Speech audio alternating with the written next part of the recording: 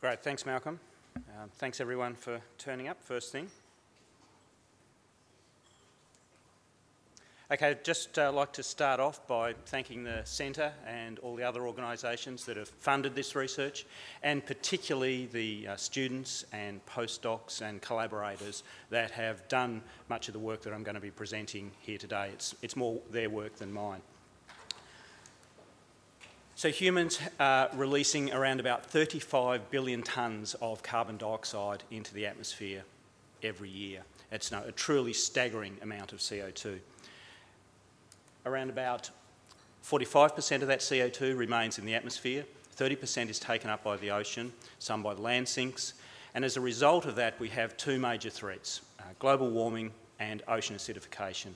And these, both of these changes to physical processes are going to have very significant effects on populations, communities and marine ecosystems. Uh, there's no doubt about that. We can already see through observations changes in things such as distributions and the timing of breeding and those sorts of events, changes in populations and in communities that are consistent with the predictions we would expect or we would make under climate change scenarios. There's also an, now a massive number of short-term experiments showing that many marine organisms are sensitive to the sorts of changes in temperature and pH and CO2 that are pro projected for the end of the century. But if we're really going to understand uh, what marine populations and ecosystems are going to look like uh, towards the end of the century, what we need to do is also understand the influence of acclimation and adaptation over coming generations. And this was really nicely demonstrated in the, the Hughes et al. paper in 2003 uh, in Science. So we have to integrate both the sort of demographic impacts of climate change and ocean acidification with whatever scope there is for acclimation and adaptation if we're going to understand what these populations are going to look like in the future. Now, genetic adaptation, uh, as we know, is genetic change driven by selection uh, that's inherited from one generation to the next. Acclimation, in contrast, is physiological, behavioural or morphological changes, uh, adjustments without genetic selection. So it's phenotypic plasticity. But what we might expect in both cases is that the populations will be able to uh, improve their performance as the environment changes. So that we might have, for example, uh, some maximum uh, performance at a given temperature now, but hopefully through time, through either selection and adaptation or through acclimation, that uh, we could also, they could do, uh, have an uh, improved performance in the future. Now, acclimation is really particularly important because we have uh, rapid phenotypic response to environmental change. And this might be particularly important for relatively long-lived organisms for which genetic adaptation may be uh, more challenging. It also usually results in improved performance to uh, a new environment, so that's very important. Other critical issues are that it can allow time for genetic adaptation to catch up, and there may actually be interactions with adaptations such that acclimation can actually accelerate genetic adaptation. And there's some good theory starting to come out to suggest that this might be possible. So acclimation is actually a really, really important topic. And one thing we need to think about when we're talking about acclimation is what we might expect to see in a phenotypic trait of interest. So if we're looking at a performance trait and we want to see, imagine what that uh, organism might do, what that trait, how that trait might perform in the future, what we're actually looking for or hoping to see is that in the future, the performance trait would actually be pretty much the same as it is today. So we'd see no uh, change in that trait of performance, but there, of course there'd be some underlying change in either something like energetic acquisition or uh, physiological responses, genetic responses, genome responses that allow for that. So there'll be some plasticity underlying this uh, trait which is acclimating. Now, there's basically three types of acclimation that we can consider. Reversible acclimation, this is what happens in adults, uh, and it's the sort of thing that we know happens all the time, for example, with seasonal acclimation, where organisms adjust their physiology, for example, winter versus summer. So that's well known, uh, very well studied.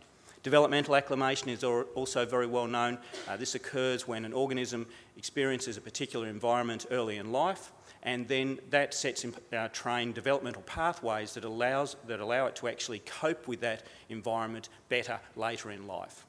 But the, uh, a new uh, process of acclimation, uh, it's been around, of course, for a long time in organisms, but one that we're just starting to understand is transgenerational acclimation, where there can be acclimation across generations. And what we have here is uh, transgenerational acclimation can be defined as environment where the environment experienced by the parents or earlier generations influences the offspring response to environmental conditions. And there's some good examples of this already out in the literature, and one is uh, for Daphnia, where they can produce this helmeted form that helps them uh, with pred uh, predators, helps reduce the risk of predation, and if the parents experience the odour cues of their predators, then their offspring are more likely to have these helmeted forms, and this actually is inherited for several generations. And this is uh, actually a, a, part of a broader field called non-genetic inheritance, and it's where uh, inheritance of traits is mediated by transmission to offspring of elements of the parental phenotype or the environment. And there's actually a really nice review on this by Russell Bonduriansky uh, last year uh, in Tree if you want to have a look and, and follow up on this. Now, there are a number of ways that, uh, that parents can actually influence the quality of their offspring and transmit information to their offspring that might be helpful in a new environment. And these include things such as nutrients. Uh, for example, uh, you can, they can uh, put different amounts of energy or uh, different factors into the yolk uh, into milk if it's actually organisms where, for example, mammals, where the offspring are feeding directly from the parents. There can be somatic factors that are transmitted, for example, hormones and proteins, and these can be uh, transmitted in things such as the gametes, the placenta, or glandular secretion. So all of these things allow the parents to influence the quality of their offspring. But one of the most important and interesting ones is epigenetic state. And what we're starting to realise is that uh, there can be inheritance across generations without change in the uh, actual uh, DNA itself, but by influencing the actual expression of the genes. And this can occur through things such as DNA methylation or changes in the chromatin structure. And just to give you an example of how this can occur, uh, there's some really nice work done with rats where they found that just a single exposure to a particular fungicide causes uh, changes in the methylation, DNA methylation in sperm and that alters male mate choice, disease prevalence, and stress response. And it can be inherited for three generations. So I, I, was blown away when I saw this example, and it really makes you think about some of the chemicals you're exposed to. That no single dose to a fungicide can change things such as uh, mate choice in mammals. So um, there's some interesting, interesting sort of consequences for some of the, the chemicals that are floating around, maybe in coffee cups and things like that. Anyway, we've been looking at transgenerational acclimation to climate change, and uh, two of the people who have been prime movers in this are Jenny Donelson and Gab Gabby Miller, uh, who've been looking at the effects of uh, global warming, the predicted 1.5 to 3 degrees increase in temperature in the ocean, and ocean acidification, the sort of 600 to 1,000 microatmosphere increase in PCO2 in the ocean. One of our uh, real model species has been this guy here, Acanthochromis polyacanthus, the spiny damselfish. Uh, we know that this fish has limited capacity for reversible acclimation as adults. Uh, if you expose them to 1.5 to 3 degrees higher temperature, there are very significant effects on their growth, uh, reproduction, aerobic performance. And this doesn't seem to be improved by extended exposure. So what we've been looking at is uh, rearing these fish for multiple generations now to look at the potential for developmental and transgenerational acclimation. And what Jenny did uh, in this experiment was uh, brought in eight breeding pairs and kept them at current day temperatures, then uh, reared their offspring up at either the current day temperature or uh, at current day or 1.5 or 3 degrees higher than the current day. Then uh, the next generation, she reared the fish up either under those temperatures again, or for the ones that were already at the higher temperatures, continue those higher temperature lineages through. Now this is a really powerful design uh, because it allows you to actually look at uh, acute effects, developmental and transgenerational effects. So we can actually uh, test them at different temperatures and look for the acute effects of temperature on these fish. This allows us to look at developmental and this comparison here lets us look at uh, transgenerational acclimation. And so, just to show you the results of this work, And this is you know, three to four years hard work rearing fish, and it all sort of comes down to one graph. So this is a really important graph. Um, what we've got here is factorial aerobic scope. You don't really need to worry about what that is too much, apart from the fact that it's the capacity to take up oxygen. And it basically, it's a really important uh, performance indicator because it's the ability to do any sort of aerobic work. What you can see is that we see, as expected, uh, where there's, for the acute effects, that performance to uh, ability to take up oxygen went down with increasing temperature. In the developmental lines, there was not much of a change. So developmental acclimation didn't help much. There seemed to be a, a small increase uh, in performance in the highest temperature, but not really that much. But in the transgenerational lineages, where the parents also experienced high temperature, we see complete compensation of this trait. And so the ability to take up oxygen comes back to control levels when the parents are also under those conditions. So here we have complete compensation in one generation of a very important physiological trait.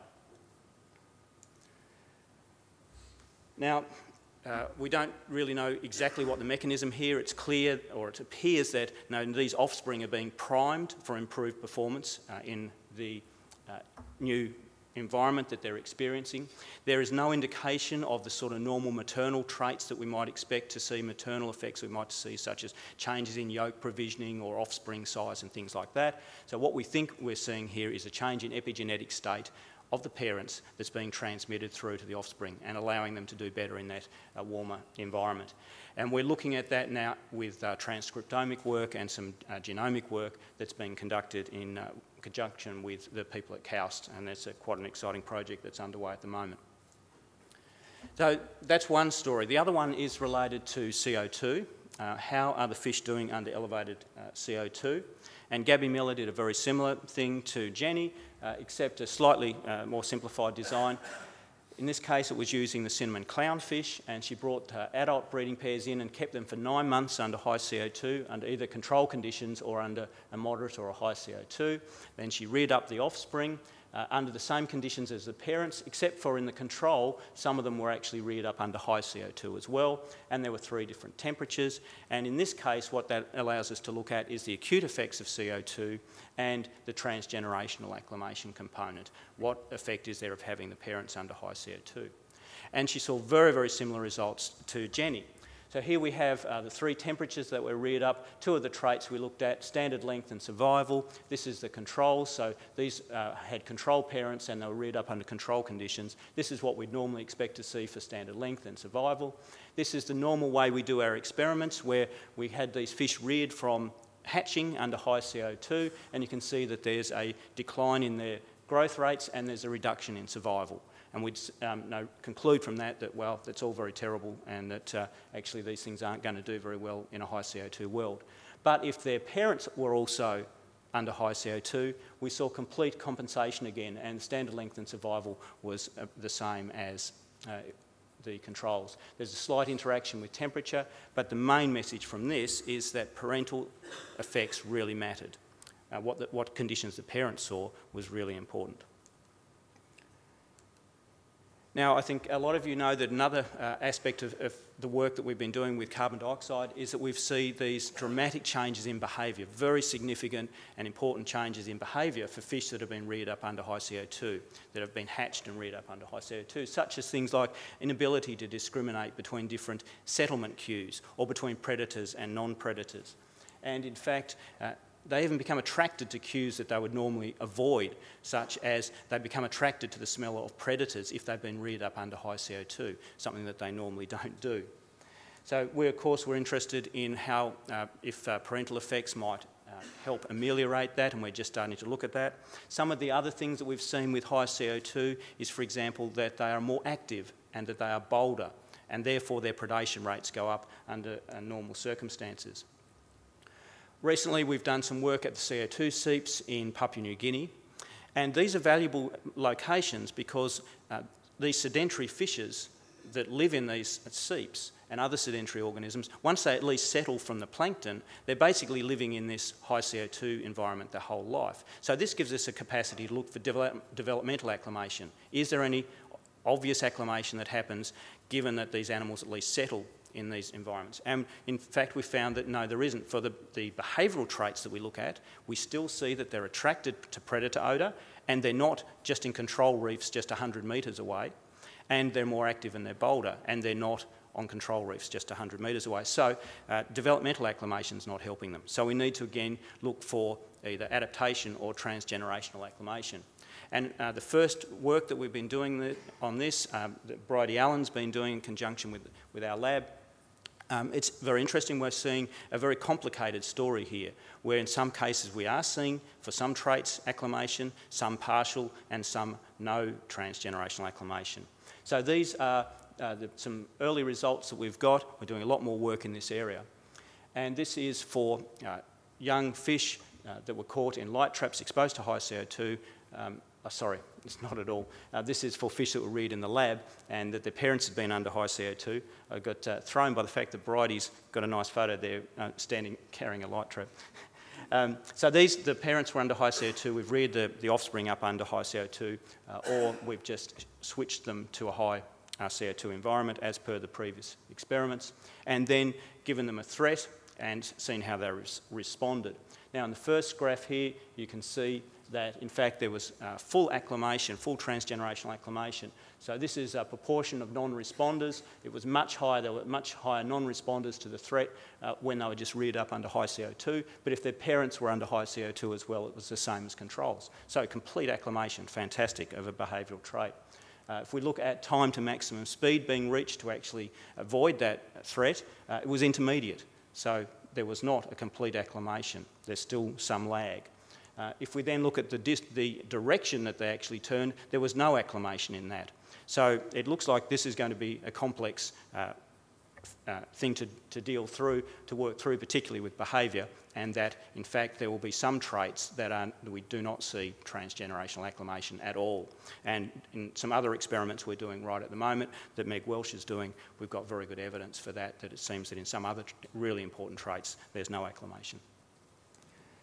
So just to uh, wrap up, uh, transgenerational acclimation is potentially really a powerful mechanism, I think, by which populations can adjust to rapid climate change. And we need to consider that uh, when we're trying to project what populations, how they will respond in the future. Um, epigenetic inheritance is probably likely involved in many of these instances, and it's a really rapidly emerging field. It's been sort of no, a major field in medicine for a while now, but I think it's something that's going to really take hold in evolutionary biology uh, quite fast. Uh, as a result of this, it may actually take several generations to see the full potential for acclimation in, uh, in organisms and their plasticity to be expressed. And so some of these experiments are going to be quite challenging, but we're going to have to do them. Um, and it does mean that short-term experiments may not be really adequate for uh, projecting long-term consequences. There's a whole lot of unanswered questions. I think it's going to be a great field uh, to, to work on over the next few years. Uh, will short-term acclimation responses actually uh, transmit to long-term persistence? We don't know that yet. No, we're working in the lab. We don't know if this really means long-term persistence. Uh, do transgenerational effects affect the rate of adaptation? That's going to be critical to understand, and we don't know that yet. There's only theory out there that it might. Uh, so there's some exciting work to do there. We don't know whether there could be transmission of pathological states. So now if organisms are exposed to pollution, for example, does that mean actually they're going to transmit um, no, epigenetic uh, effects to their, their offspring that might actually be detrimental? We don't know that. Um, and how widespread is this amongst marine taxa, and can we actually use it to predict which uh, species might benefit? Uh, and hopefully we'll start to get some of those answers over the next three to four years. Thank you very much.